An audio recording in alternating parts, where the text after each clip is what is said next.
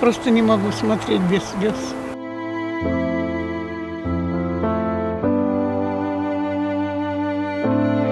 Вот почему именно в эту ночь, почему именно Анечка.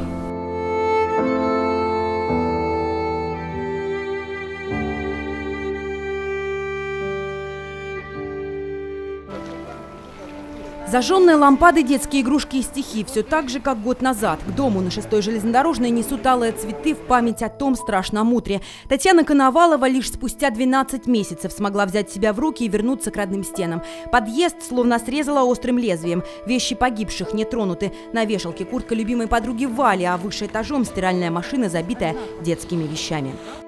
Просто не могу смотреть без слез. Сколько людей погибло, родных, дорогих. Вечер, 15 февраля 2016 шестая железнодорожная, дом 11, второй этаж, квартиры 67.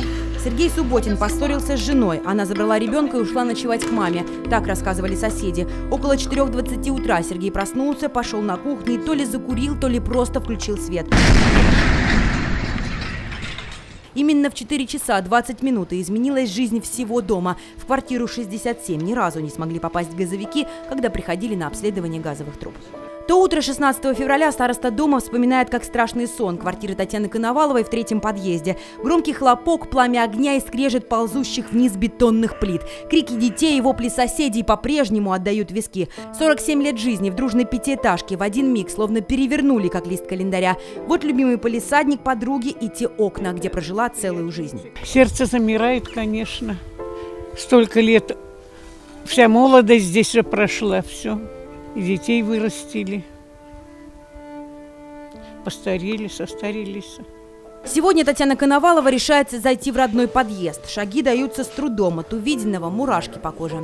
Спустя год вокруг дома на шестой железнодорожной снято оцепление. И нам удалось попасть в подъезд и немного осмотреться. Воды и отопления здесь нет. Стены и щитки, электрощитки изрядно обледенели. Некогда жилые квартиры пустуют, а двери заколочены. 16 февраля 2016-го. Трагедия в Ярославле потрясла всю страну. На место экстренно выезжает глава МЧС Владимир Пучков и полпред президентов ЦФО Александр Беглов. От ЧП в Ярославле лично доложено Владимиру Путину. Расследование дела под личный контроль взяли лучшие следователи страны. Дома обследуют сотрудники МЧС и специально присланные из столицы мобильный диагностический комплекс «Струна». Спустя месяц эксперты озвучат вердикт. Железобетонная конструкция опасна для людей. Дом непригоден для проживания. Вспоминается все время это от каждого вот такого вот самолет пролетит, хлопнет, вздрагивая. Упадет что-то где-то, тоже вздрагивая. Но уже начали привыкать потихоньку. По первости было очень сложно. Все мы теперь с жильем. У нас все хорошо теперь. Попасть в собственную квартиру уже невозможно. Дом законсервировали перед сносом. Пожав плечами, отправляемся в новое жилье. Двухкомнатная квартира Татьяны Коноваловой в этом же районе. Перевести сюда удалось немногое – диван и кота. Главное, говорит пенсионерка, есть крыша над головой.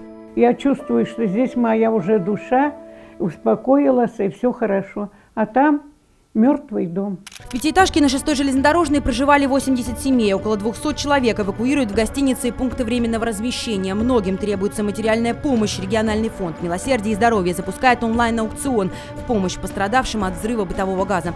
После региональное правительство примет решение включить в статью бюджета выделение средств пострадавшим жильцам дома. Около 200 миллионов рублей. Компенсации семьям погибших по утрате имущества и денежные средства на покупку новых квартир. Мы живем в хорошей квартире. Теперь будем стараться как-то пережить, забыть. Новую двушку, как и другие жильцы дома номер 11, Татьяна Коновалова получила в августе прошлого года. До этого 6 месяцев неведения в гостинице «Котрасль». Тогда многие из постояльцев находились на грани нервного срыва. С собой из аварийного дома успели взять немного личных вещей и лекарства. Каждому соседу Татьяна Коновалова смастерила именную куклу-оберег. На здоровье, на счастье, на здоровье, конечно, всем, чтобы... Сейчас разревуся. 15 февраля 2016 71 квартира, это третий этаж. Татьяна Шаганцукова, сотрудница мэрии, проводила мужа на работу и спокойно легла спать. Заснула вся ее семья, мама и двое детей. 12-летняя дочь Альбина и 4-летний Арсен. Эта семья находилась в стандартных 2 и 5 метрах от эпицентра взрыва. Это высота потолков в Хрущевке.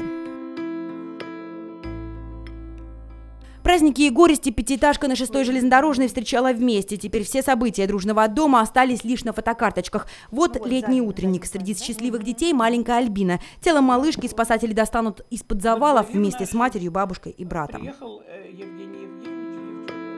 15 февраля 2016 первый этаж, 63-я квартира. Здесь коротает вечер всеобщая любимица, рукодельница Баба Валя. На пятом, в 79-й, снимала квартиру семья Карена Гевандяна. Здесь они жили чуть больше года. Карен вечером вернулся с работы и хотел выспаться. Когда уходил в свою комнату, дома были мама и сестра. Карен и его мама чудом остались в живых, а 24-летняя Ануш погибла под завалами. Карен Гевандян – один из выживших в то злополучное утро. Ночью 16 февраля дом спал. Вот первые кадры с момента обрушения. На месте работает несколько смен спасателей и кинологи с собаками. 4.30 под завалами по-прежнему остаются люди. Блочный подъезд сложился как карточный домик. У тех, кто жил на верхних этажах, больше шансов. Жизнь Карена, его матери и сестры в руках спасателей. Ну что, как дела? И достаем пытаемся. Спустя сутки парень очнется в реанимации Соловьевской больницы. Позже молодому человеку сообщат. Мать в тяжелом состоянии, сестра Аня погибла. Переливание крови, полгода лечения. И вот, встав на ноги, Карен уехал в родной Ростов. Вернуться обратно страшно. Я мимо приезжал, я там, ну, все, что хотел, я все уже увидел, как бы, что там, как там. А так, чтобы специально приехать, посмотреть, ну, наверное, все-таки нет. Мать Карена Самира Аганесян целый год не может отправиться от травм. Обрушившиеся бетонные перекрытия повредили женщине ноги. Одну пришлось ампутировать. Говорит, то, что случилось с их семьей, и называется судьбой. Дочь Аня в тот вечер просто пришла погостить. Утром должна была ехать на работу. И вот почему именно в эту ночь, почему именно Анечка, она настолько была жизнерадостным ребенком. До сих пор не верится, конечно. Март 2016-го генеральному директору ресурсоснабжающей организации Сергею Скорнякову предъявлено обвинение. По версии следствия, подведомственная Скорнякову организация поставляла голубое топливо в квартиры жильцов 11-го дома. Газовые плиты 70-го года выпуска не обследовались несколько лет, а в 24 квартиры газовые службы и вовсе не заходили. При этом акты выполненных работ были подписаны рукой Скорнякова, и подача газа продолжалась. Статья, по которой Сергею Скорнякову предъявлено обвинение, предусматривает штраф и срок до двух лет лишения свободы. Жертвами взрыва стали семь человек, двое детей и пятеро взрослых погибли.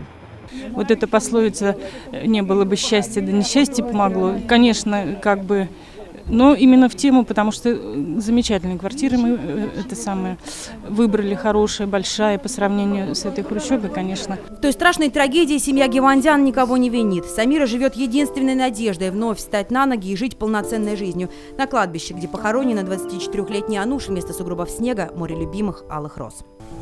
Светлана Доброхотова, Юрий Кораблев, Денис Ромашов, Олег Лушников для программы «Специальный репортаж».